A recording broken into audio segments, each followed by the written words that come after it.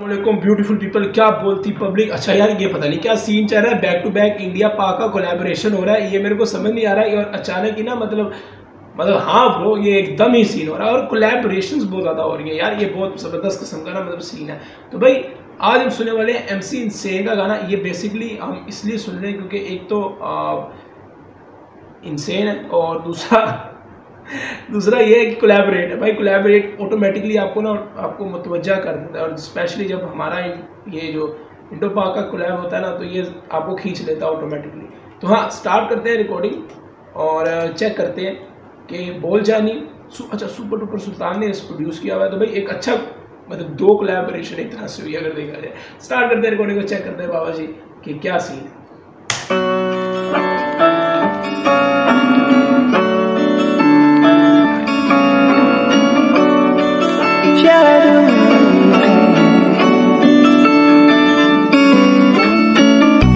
ने देखा ये चेहरा, सोच में पड़े वो कैसे ये जी रहा है? अपने को लगा मैं जहर पर आए, उन्हें कहा, तू बेटा नहीं हीरा है। ये प्यार है सरहद के पार सभी के नफरत के बाद तू ले तेरे मेरे से दूरी में तेरा ही करूँगा इंतज़ार। सपने को मैं जी ऐसे जैसे वो सपने में ही खुश हूँ अच्छा नहीं लगता ये जीवन। और ये एम का फ्लो मेजोरिटी गानों के अंदर एक जैसा ही है। मतलब फ्लो की जो आ, मैंने जितने सुने हैं मैंने इतने ज़्यादा सुने नहीं है मैंने फोर गिफ्ट सुना है।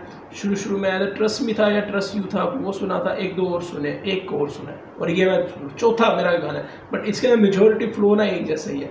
बेसिकली ज़ोर देता है इमो और सैड इमोशन जो होते हैं ना उसको रखता है अपने गानों के अंदर। सो हाँ।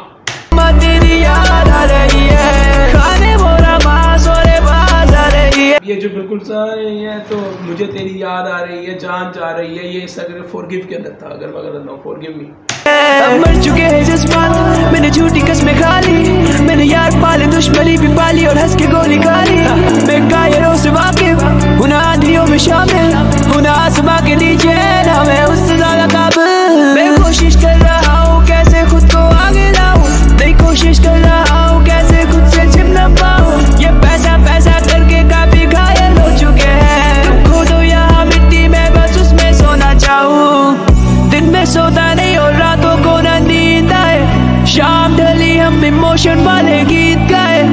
साथ दो चीज़ें ऐसी होती है मेरे साथ अगर प्रैक्टिकली मैं तुम्हें बताऊँ ना आजकल पहले मुझे नींद नहीं आती थी और अब ये होता है कि मैं खौफ से सो जाता दो चीज़ें एक तो नींद आना बिला वजह ये घबराहट की निशानी मतलब मेरे लिए और दूसरा एक नींद नहीं आती। ये बड़ा अजीब सीन होता है भाई। आ, और ये ज़रूरी नहीं है किसी एक पर्टिकुलर इमोशन की वजह से हो कि लड़की छोड़ गया तो इस वजह से नहीं ज़रूरी नहीं है। इसमें बहुत सी चीज़ें होती हैं। बेसिक जो इम्पैक्ट है वो ये बताया जा रहा है कि भाई तकलीफ़ अजीयत में बंदा होता है तो बंदे को अजीब अजीब सूरत हाल से गुजरता है और अल्लाह माफ़ करे हम सबको इन चीज़ों से बचाए।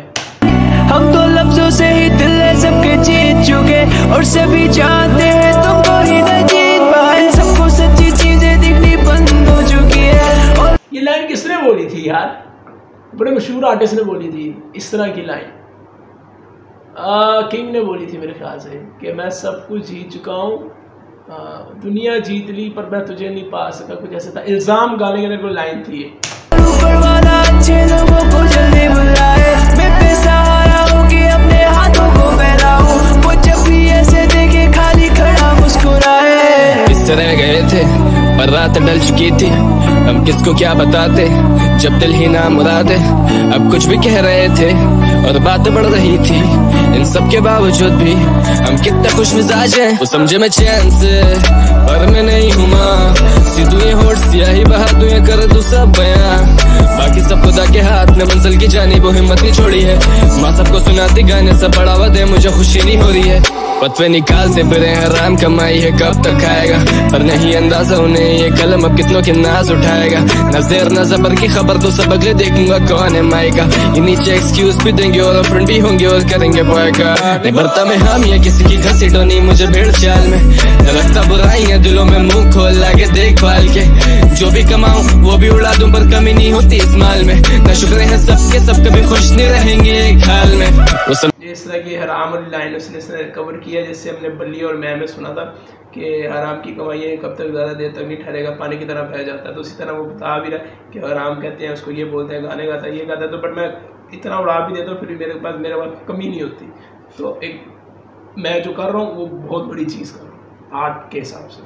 समझे ही ना मुझे कभी एक उम्र गुजार दी, दुख की बात है। या फिर वो बदल चुके हैं, वो करे ना ज़ाहिर, पर खुश मिजाज है। आई होप क्या सही हो फाइन हो मैं सुनना चाहूँ, क्या बोलेंगे मुझे वो टीवी पर देख के फ़र्स्ट टाइम कर पाए लगो पूरा सिन प्रेस करे किड्स को मेरी जब कैसा सुनाए ना दे उन्हें गॉस्पल साउंड जो फटे ये दिल्ली तक। ये सब कुछ मिला नहीं, बस इतने मुझे बदल यू हिट मी और send me love I set the bar में उठा था चार स्टैंडर्ड आई बी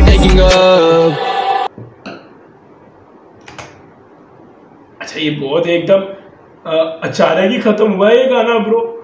मतलब सीरियसली एकदम एकदम पोज आया मैं समझ रहा गाना चलेगा। एकदम ये बहुत सडन बंद हुआ गाना। खैर ये बहुत अजीब नहीं लगा। एकदम मैं तो ऐसे लगा मेरे मेरा नेट चला गया, मैं समझा। खैर हाँ ये थोड़ा अजीब सा रह गया लास्ट में ये जो गाना एकदम ख़त्म हुआ है। लेकिन हाँ तुम्हें मैंने बता देना ब्रो ये दोनों एक ऐसे आर्टिस्ट हैं जो बेसिकली इमोशंस को आसान अल्फाजों में लोगों के आगे रख देते होते हैं और लोग बहुत जल्दी कनेक्ट हो जाते हैं। क्यों? क्योंकि मेरे ख्याल से इमोशन के लिए मुश्किल अल्फाज इस्तेमाल करना ज़रूरी नहीं है, ठीक है ना? तो काफ़ी शायर हैं जो इस तरह नहीं करते। और ये कोई, ये न्यू स्कूल नहीं है भाई।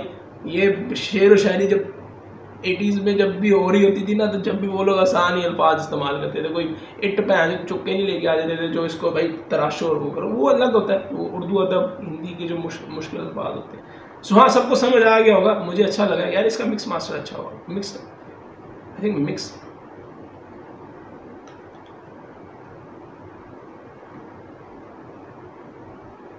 bro mix master Bela ने किया हुआ है।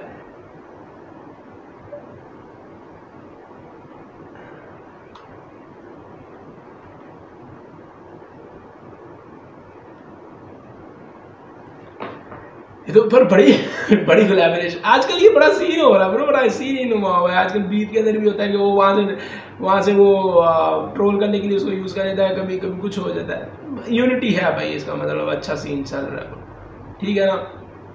बेला का काफ़ी ज़्यादा कमेंट आया हुआ है यार बेला के लोग आए हुए हैं काफ़ी ज़्यादा। खैर, आप खूबसूरत है यार, आपको मेलोडीज़ मिल रही हैं और और क्या चाहिए आपको? मिलता हूँ किसी अगली वीडियो पर तब तक के लिए बाबा जी, अब आपको किसी की आवाज़ पसंद आती होगी, किसी की पसंद आती होगी तो आप अपने मिले सुने और इन्जॉय करें। बाबा यस कमान